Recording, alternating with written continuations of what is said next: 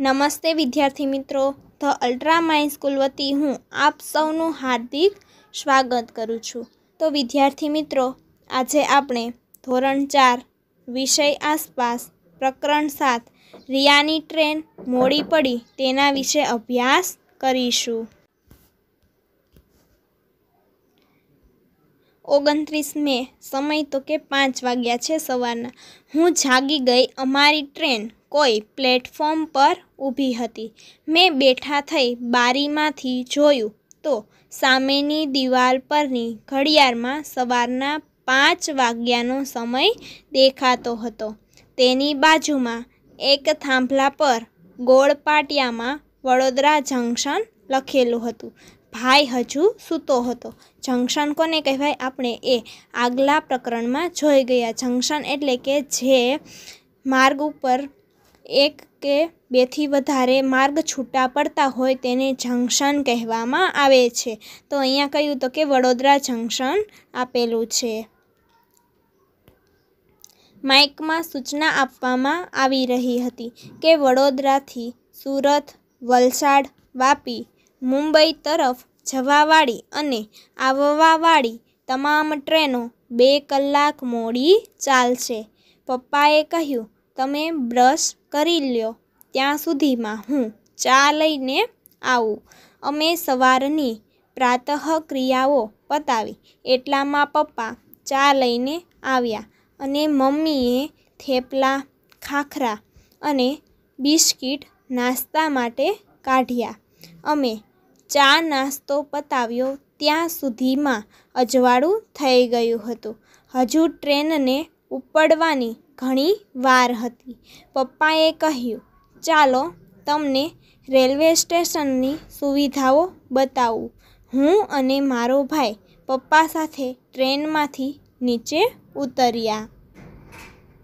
પપ્પાએ અમને ટિકિટ બારી, ટિકિટ ચેકરની રૂમ પ્રતીક્ષાખંડ પાર્સલ રૂમ, ટોયલેટ બાથરૂમ, પીવાના પાણીની સુવિધા ચા નાસ્તાની કેન્ટીન જેવી સુવિધાઓના સ્થળો બતાવ્યા તો આપણે તે બધા સ્થળો જોઈએ. તો કે રેલવે સ્ટેશન ઉપર શું શું સુવિધાઓ હોય છે તેના આપણે ચિત્ર જોઈએ. તો કે અહીં તમે જોઈ શકો છો ટિકિટ બારી, પછી તેની બાજુનું ચિત્ર છે. તે ટિકિટ ચેકરની રૂમ છે અને પ્રતીક્ષા ખંડ છે. ત્યાર પછી છે પાર્સલ રૂમ છે, પછી ટોયલેટની સુવિધા છે પાણી પીવાની સુવિધા, કેન્ટીનની સુવિધાઓ છે. વિવિધ સુવિધાઓ રેલવે સ્ટેશન ઉપર જોવા મળે છે. આપણે તેના પિક્ચર જોઈએ છીએ. એક પ્લેટફોર્મ પરથી બીજા પ્લેટફોર્મ પર જવા માટેની સીડીવાળા પુલ ઉપરથી અમે જોયું તો સ્ટેશન ઉપર ઘણી બધી ટ્રેન ઊભેલી જોવા મળી. રેલવેના કર્મચારીઓ પાઇપ વડે ટ્રેનના ડબ્બાઓમાં પાણી ભરતા અને ટ્રેનની સફાઈ કરતા જોવા મળ્યા. કેટલાક સફાઈ કામદારો પાટાની આસપાસની સફાઈ કરતા જોવા મળ્યા. સ્ટેશન પર ફરવામાં સમય ક્યાં પસાર થઈ ગયો તેની ખબર જ ન પડી. મને રેલવેની સુવિધાઓ વિશે ખૂબ જ જાણવા મળ્યું. ખરેખર બહુ જ મજા આવી. મેં કેટલીક સુવિધાઓના ફોટા અને વીડિયો પપ્પાના મોબાઈલમાં લીધા છે. તો કે રેલવેની વિવિધ સુવિધાઓ વિશે જાણવા મળે છે. રેલવે સ્ટેશને ઘણી બધી સુવિધાઓ હોય છે. તેના આપણે ઘણા બધા પિક્ચર જોયા. અહીં તમે જોઈ શકો છો, એક બાજુથી બીજી બાજુ જવા માટે એક પ્લેટફોર્મ ઉપરથી બીજા પ્લેટફોર્મ ઉપર જવા માટે દાદરો બનાવેલો છે. એનું તમે ચિત્ર અહીં જોઈ શકો છો અને બીજા પણ આપણે ચિત્રો જોઈએ. તો કે જો ઘણા લોકો ટ્રેનની સફાઈ કરતા જોવા મળે છે, ઘણા લોકો પાટાની સફાઈ કરે છે. ઓગણત્રીસ મે સાત વાગ્યાનો સમય. હવે માઇકમાં સૂચના અપાય. અમારી ટ્રેન બે મિનિટમાં વડોદરા સ્ટેશનેથી ચાલશે. અમે પાછા અમારા ડબ્બામાં આવીને બેઠા. ટ્રેન ચાલી. સવાર થઈ ગઈ હતી. બહારનું વાતાવરણ ખૂબ જ સુંદર લાગતું હતું. અમારી ટ્રેન સડક માર્ગના બંધ ફાટક પાસેથી પસાર થઈ રહી હતી. ત્યાં લોકો ફાટકની બંને બાજુ ટ્રેન પસાર થવાની રાહ જોઈને ઊભા હતા. ત્યાં બસ, કાર, રિક્ષા, સાયકલ, સ્કૂટર તેમજ માલ સામાન ભરેલી ટ્રકો જેવા વાહનો પણ ઊભા હતા. કેટલાક લોકો પોતાના વાહન બંધ કર્યા વગર ઊભા હતા, જેના કારણે ત્યાંનું વાતાવરણ અવાજ અને ધુમાડાવાળું હતું. કેટલાક લોકો ફાટકના સળિયા નીચેથી પસાર થઈને પાટાની નજીક આવીને ઊભેલા હતા. ખરેખર તે જોખમી હતું. તો કે તમે ચિત્ર જોઈ શકો છો. તો કે ટ્રેન આવતી હતી. તેથી ટ્રેનની બંને બાજુ, ફાટકની બંને બાજુ બધા લોકો ઊભા હતા. તો કે ઘણા લોકો એવા હતા કે જે ટ્રેન પસાર થવાની છે તેની સાવ નજીક થઈને ઊભા નજીક રહીને ઊભા હતા. તો કે ત્યાં સાવ નજીક ઊભું રહેવું તે જોખમી છે. ક્યારેય ટ્રેન આવતી હોય તેની સાવ નજીક ઊભું રહેવું જોઈએ નહીં. તે જ સમયે અમારી ટ્રેનની બાજુમાંથી બીજી ટ્રેન પસાર થઈ. મેં અને હિમાક્ષે તે ટ્રેનના ડબ્બા ગણવા પ્રયત્ન કર્યો, પરંતુ બંને ટ્રેન ખૂબ ઝડપથી ચાલતી હતી. જેથી ડબ્બા ગણી શકાયા નહીં. તો કે અમારી ટ્રેન જતી હતી ત્યારે સામેથી બીજી ટ્રેન આવતી અમે જોઈ. એ ટ્રેનના અમે ડબ્બા ગણવાનો ઘણો પ્રયત્ન કર્યો, પરંતુ અમે તે ટ્રેનના ડબ્બા ગણી શક્યા નહીં. હું આંખો બંધ કરીને બારી પાસે બેઠી હતી. અચાનક ટ્રેન ચાલવાનો અવાજ બદલાઈ ગયો. ખડ ખડ ખડ મેં મારી આંખો ખોલી. અનુમાન કર્યું મેં શું જોયું હશે? મારી ટ્રેન એક મોટી નદી પરનો પુલ પસાર કરી રહી હતી. મમ્મીએ કહ્યું, આ નર્મદા નદીનો પુલ છે. આ નદી ગુજરાતની સૌથી મોટી નદી છે. તેનું પાણી નહેર દ્વારા દૂર દૂરના વિસ્તાર સુધી પહોંચાડવામાં આવ્યું છે. તો કે રિયાની ટ્રેન એક મોટા પુલ ઉપરથી પસાર થઈ. તે પુલનું નામ છે, તે પુલ પરથી પસાર થતી હતી. તેની નામ શું? તો કે નર્મદા નદી ઉપર બાંધવામાં આવેલા પુલ પરથી તેની ટ્રેન પસાર થઈ હતી.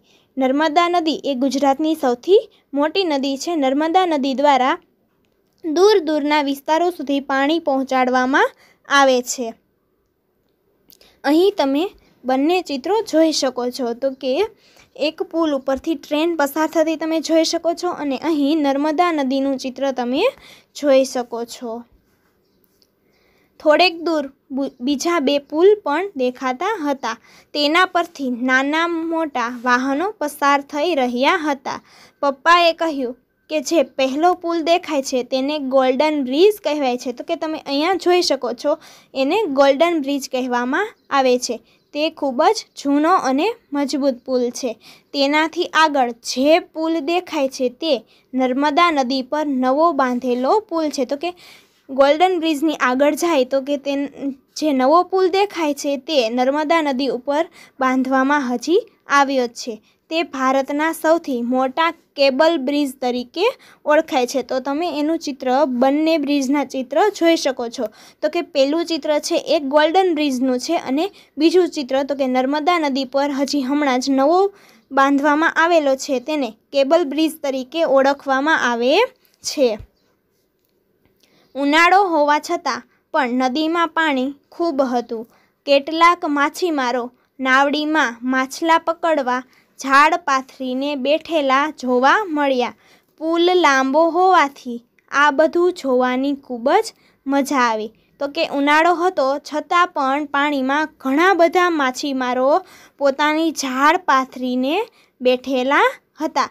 અને પુલ લાંબો હતો એટલે આ બધું જોવાની ખૂબ જ મજા આવી. તો તમે ચિત્રમાં જોઈ શકો છો, જો એક પુલ ઉપરથી ટ્રેન પસાર થાય છે, પછી બીજું ચિત્ર છે જેમાં નાવડી છે અને એમાં માછીમારોએ પોતાની ઝાડ તેમાં નદીમાં નાખેલી છે. એ તમે જોઈ શકો છો.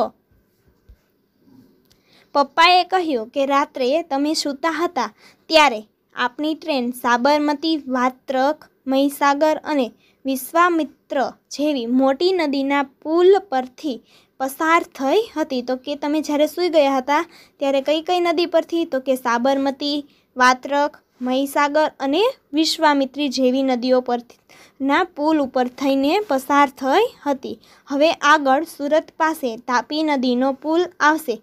તે જોવાનું ચૂકતા નહીં. તો કે અહીંયા તમને જે ચિત્ર આપ્યું છે તે તાપી નદીનો પુલનું ચિત્ર છે. એના વચ્ચે થઈને ટ્રેન પસાર થાય છે. બહારના દ્રશ્યો જોવાની ખૂબ મજા આવી. નદી કિનારાના વિસ્તારમાં લીલા પાકવાળા ખેતરો જોવા મળ્યા. કેટલાક ખેતરોમાં કેળાની ખેતી જોવા મળી.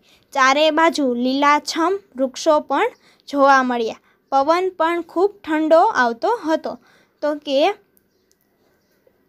એવા બધા વિસ્તારો હતા ત્યાં લીલીછમ બધી વનસ્પતિ હતી. લીલાછમ એકદમ ખેતરો પણ હતા અને ઘણી જગ્યાએ કેળાની ખેતી જોવા મળી. તો કે, ઘણા ઘણા વિસ્તારોમાં કેળાના વૃક્ષો ઊભા હતા.